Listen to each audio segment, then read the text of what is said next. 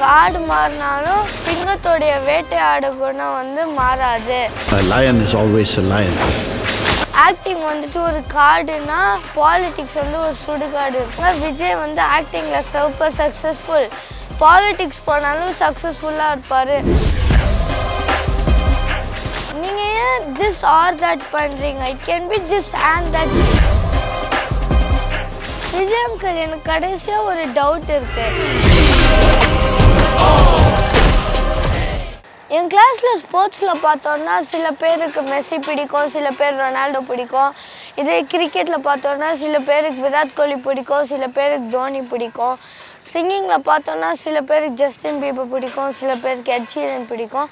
ஆனால் ஆக்டிங் பார்த்தோன்னா மோஸ்ட் காமனாக எல்லாருக்குமே விஜய் அங்கிள் தான் பிடிக்கும். நான் ஏன் இப்படி நினைக்கிறேன்னா விஜய் அங்கிளுக்கு வந்து செம்ம ஸ்டன்ஸு செம்ம காமெடி பண்ணுவார். ஆனால் அதை விட அவருக்கு வந்து ஒரு செம்ம மனசு. நான் அந்த எக்ஸாம்பிள் கொடுக்குற முன்னாடி நான் ஒன்று சொல்கிறேன் இப்போ வந்துட்டு ரொனால்டோ ஜெர்சி நம்ம வந்து செவன் ரொனால்டோ நினைப்பார் இந்த ஜேர்சி வந்து நான் ரிட்டையர் பண்ண பிறகு யாருமே இந்த ஜெர்சி போடக்கூடாது. இதுதான் ஐகானிக் ஜெர்சி நம்பர் இருக்கணும் சில ரொனால்டோ மெஸ்ஸி சச்சின் டெண்டுல்கர்லாம் இப்படி நினைப்பாரு. இந்த படத்தில் ஒரு நடக்கிற சீன் விஜய் அங்கிளுக்கும் சிவகார்த்திகேயன் அங்கிளுக்கும் நடக்குது. அதில் விஜய் அங்கிள் வந்துட்டு சிவகார்த்திகேயன் அங்கிள் கிட்ட சொல்கிறாங்க சிவா என்ன அங்கே இந்த துப்பாக்கி பிடிச்சிக்கோங்க. லைக் அவங்க ஆக்டிங் கரியர் வந்துட்டு அவங்க அந்த ஜெர்சி கழட்டி அவங்க கிட்ட கொடுக்குற மாதிரி சொல்கிறாங்க அதுக்கப்புறம் சொல்கிறாங்க நம்மளை நம்பி தௌசண்ட்ஸ் ஆஃப் ஃபேன்ஸ் இருக்கிறாங்கன்னு சிவகார்த்திகேயன் அங்கிள் கிட்ட சொல்கிறாங்க சிவகார்த்திகேயன் அங்கிள் அது அதுக்கு ரெஸ்பாண்ட் பண்ணுறாங்க ஓகே இது விட உங்களுக்கு முக்கியமான வேலை இருக்குது நீங்கள் அதை பார்த்துக்கோங்க நான் இது பார்த்துக்கிறேன்னு சொல்கிறாங்க இதுதான் விஜய் அங்கிளுடைய நல்ல மனசு. லாஸ்ட்டில் கூட ஒரு சீன் இருக்கும். காடு மாறினாலும் சிங்கத்தோடைய வேட்டையாடு குணம் வந்து மாறாது.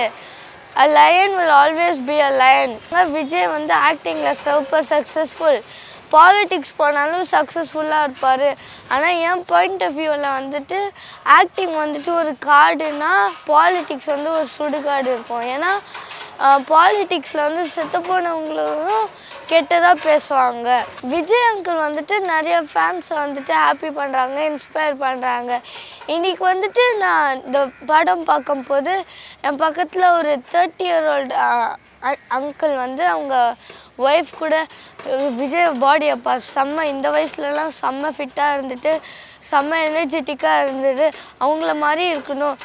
விஜய் அங்கிள் வந்துட்டு நிறைய பேர் இன்ஸ்பயர் பண்ணுறாங்கன்னு நான் நினைக்கிறேன். கடைசியாக இந்த படத்தோடைய கதையை பார்க்கலாம்.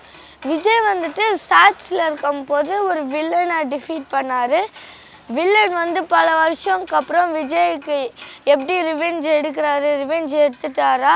இதுதான் அந்த கதை. இதுக்கப்புறம் நான் சொன்னேன்னா ஸ்பாய்லர் ஆகிடும் விஜய் அங்கிள் எனக்கு கடைசியாக ஒரு சஜஷன் இருக்குது நீங்கள் ஏன் திஸ் ஆர் தட் பண்ணுறீங்க it can be this and that படம் நடிக்கும் போதே பாலிட்டிக்ஸ் பண்ணலாம்ல. படம் நடிக்க ஃபிஃப்டி டேஸ் தானே ஆகும்.